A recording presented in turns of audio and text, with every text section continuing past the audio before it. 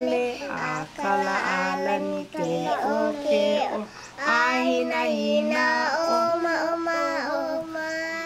Aloha, my name is Hope Kaimi Strickland. Uh, my parents are Kyoki and Hau'oli Keamo'ai, and my grandparents is uh, Abraham and Hannah Ni'au. I was born in Kauai and I was raised in Niihau. Family was everything over there to everybody. Like we like to be around each other because family are always traveling from Kauai to Niihau. I went to school in Niihau and growing up was kind of hard because everything was taught in English, not in Hawaiian dialect, in Niihau dialect. We moved to Kauai because my mom had a medical reason. It was hard because, you know, when you're coming home, it's like, it's not like you're playing on the playground with your friends on Niihau. Over here, it's like playing with somebody totally different.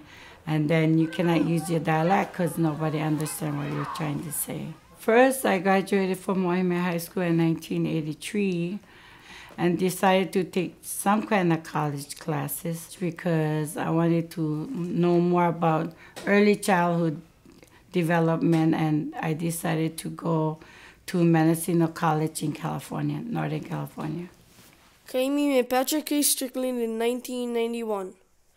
They fell in love, got married, and had three children. Patrick's wish for their kids was to learn Kaimi's language and culture. When he passed away in 2002, I was supposed to move back to California. And I decided, you know, making my husband's dream come true for my kids is moving back to Kauai. The Niihau language is a unique dialect of Hawaiian. Today, there may be fewer than 300 fluent speakers. You know, we're trying to keep our dialect alive.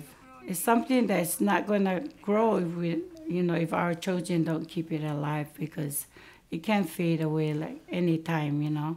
Te ia manawa te raku, te raku hana kātu ta kātu hawina te mana aili ke me te manawa kani no ka tumu te manawa ta kama piula kama ni hanai.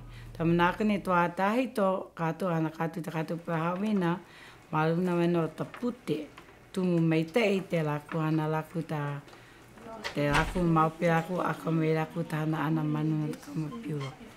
Back in the days, it's like technology wasn't anything, but nowadays technology is really important for them a lot. For Hiki Nō, this is Yohanika Nele.